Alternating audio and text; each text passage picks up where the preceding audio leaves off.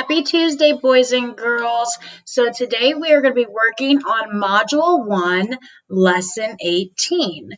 Let's go ahead and review our learning target together. Repeat after me. Say, we will understand the equal sign. Let's get started by reviewing some vocabulary. Remember, the equal sign looks like this, and it means that both sides or both or each group on both sides is the same amount or has the same value. So yesterday we were working with our math numbers and some of our pictures, and today we're going to keep practicing together.